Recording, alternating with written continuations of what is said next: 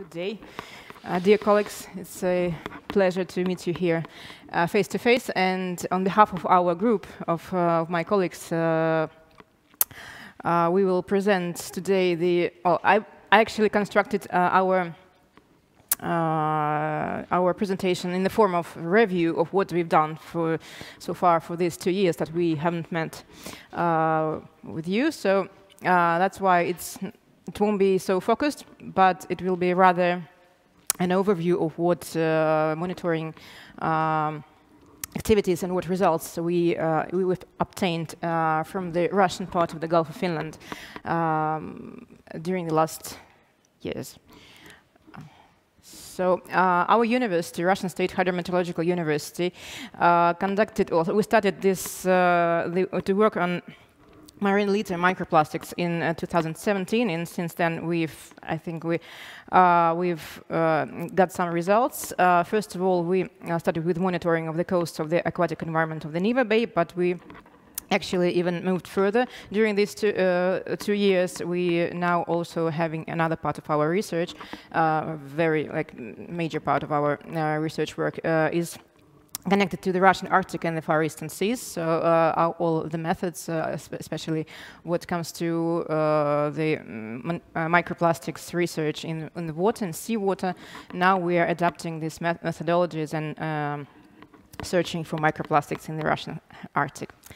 Uh, and uh, during these uh, years, we have um, organized a specialized laboratory on plastic pollution research where the major, I would say, workforce is the young scientists and students. So I'm the leader of this laboratory, but of course, all this work that I will present today, it's all well, most of this work uh, wouldn't be possible without the uh, so many volunteers and students that are uh, that have been working and are uh, working um, in our university in this lab.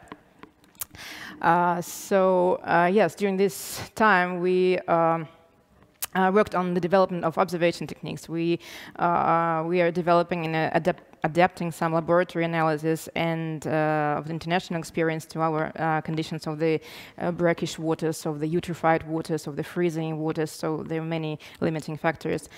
and we uh, um, made new sampling devices, and also we are working uh, worked on intercalibration of methods with our colleagues, uh, not only from the from SYKE, and this work will be presented later by our Finnish colleagues, but also we're uh, working closely with the Russian uh, institutes because of the pandemic. We cannot really collaborate. It's really limit, uh, limiting our collaboration efforts abroad. but we took advantage of this, maybe I would say, and we uh, worked closely uh, these uh, years and are working with national scientific institutions. Uh, so we will uh, we are uh, focusing on two fractions. I must say that you have to distinguish because we are monitoring the large microplastics, which is uh, larger than one millimeter, which is visually detectable. This is the microplastics in the sand, in the beach sand. And also we're working with microplastics in the water, which is uh, the real, I must say, the true microplastics, which is uh, only detectable by the special, uh, special instruments. Uh, and uh, as I said, we started with the Neva estuary, uh, started our studies uh, with uh, uh, beach sand samplings to identify the hotspots of its accumulation, so of plastics of litter accumulation in the Neva Bay, to, and also to like to make a database and to, to, define the basis for the mathematical modeling of the distribution of microparticles in, in the Gulf of Finland. And the methodologies that we used. Um, uh, these are, uh, first of all, the two methods for sandy coasts, for sandy beaches. Uh, then we also uh, worked on the uh, water sampling and uh, made our own filtering device, which is patented now. This is working with it and its construction and the model and the, the recently it was patented.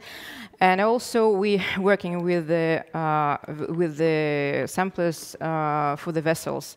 Uh, so also developed the method for working in a flow through system uh, in uh, in the vessel. Our mm, also major part of our work was on analyzing and trying different methods, laboratory methods, and during this time we not only, uh, uh, of course, used the microscopy methods, but uh, we worked with Raman and also with the pyrolysis gas chromatography and mass spectrometer methods. And um, if so beach litter monitoring, uh, it was based on these two, two methods for large microplastics. And you can see here the various uh, um, pictures of how, how it, how, it, looks in summer in, in the Neva Bay.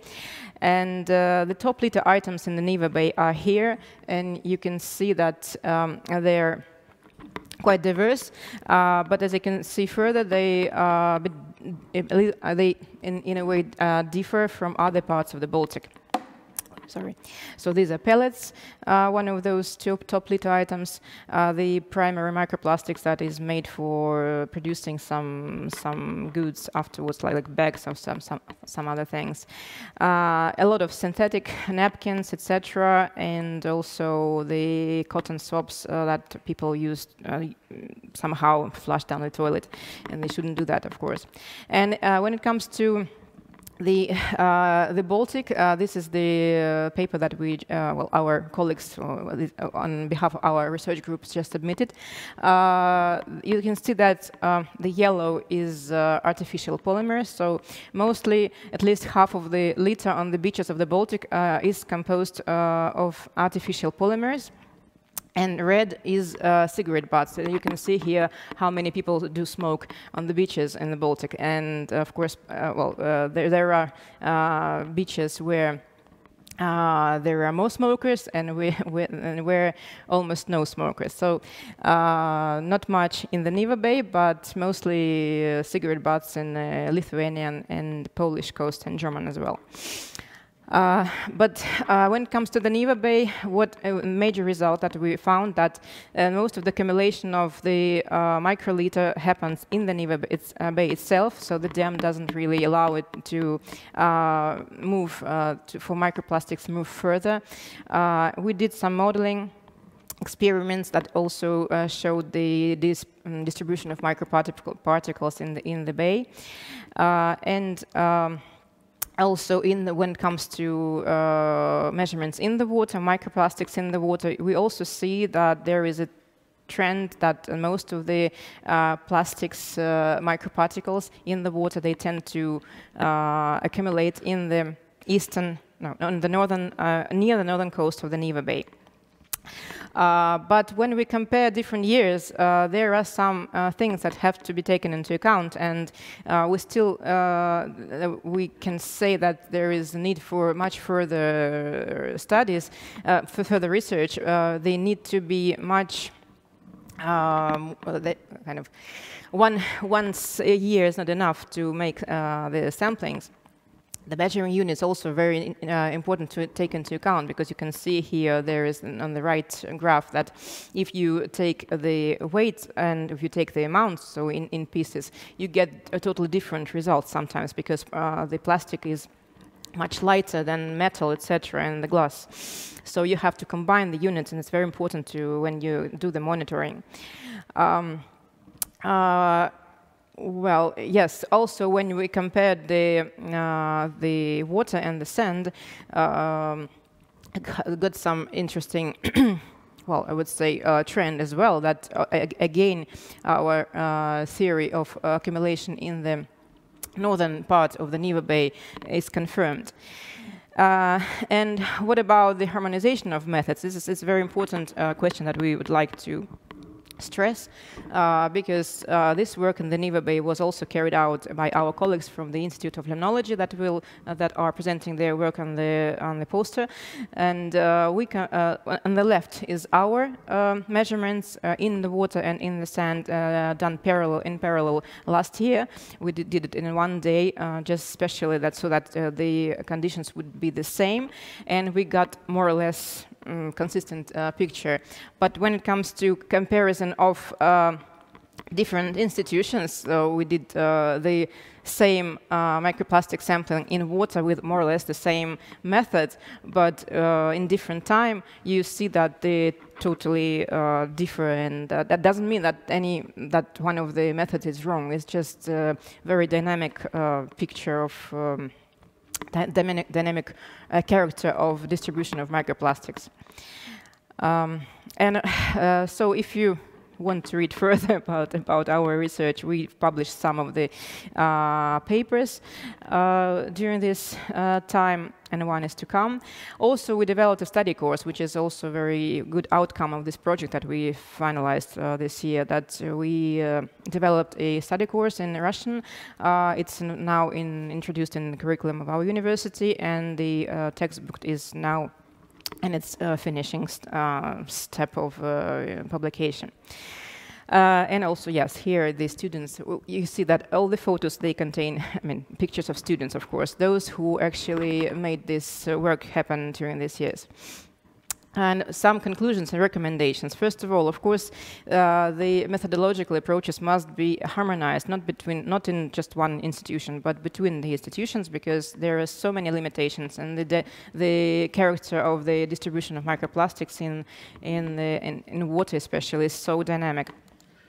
Uh, the, we, uh, however, um, managed to see the hotspots of accumulation of microplastics in the Neva Bay in the Gulf of Finland, and now our database comprises over 1,400 units of measurements uh, for these years. Uh, there is a lot of questions about the sources of this uh, uh, microplastics because this could be treatment facilities but, and some untreated wastewaters and other other sources. This is something more to study and to to find out. Um, also, there is not much information about the tributaries, uh, about the Neva River itself, so the, in the entire water column, so more re research to come. And um, of course, in order to develop the scientifically based measure, uh, measures for the management of the sources and for the recommendations for the decision makers, it's necessary to have the entire monitoring on the, based on the unified methodological approach. This is actually the main uh, idea of our uh, intercollaboration um, uh, efforts uh, that we are having now with our Estonian and Finnish colleagues. And of course, we have to work with the society because, as you can see, the most of the uh, plastic is uh, comes from the household, from the hygienic uh, products. Uh, and our proposals for, because our forum today is called the New Start for New, or New Cooperation, hopefully it will uh, really start for, uh, in this topic too. I mean, it will, it's already happening, but the new cycle of it, yes. so the efforts should be I focused on harmonization of the sampling methods because there are so many different methods and uh, different research teams, uh, research groups uh, use uh, various um, sampling methods. Uh, the, uh, the same goes for lab analysis. Um, uh, must be unification. So the joint intercalibration of monitoring methods should be done not only for water sampling, which is now actually almost completed for our teams, but also for the beach monitoring, uh, which is uh, uh not not well not I mean, it's, it's, it's a question for, for the future, I think. Also, regarding the modeling of microplastics in the water, we think and we propose that we have to study the microplastic properties changes under the influence of biogeochemical processes based on the eco-hydrodynamic models. Uh, and also the educational courses and programs and maybe well, filtering trainings, etc., uh, could be also the, the, the topic for cooperation because a lot of uh, young scientists and students are uh, volunteering for this work and they are uh, really happy to take part in this work and to work because they, they, they want to change the, the situation. Thank you. I think this is it. Thank, thank you very much, Alexander.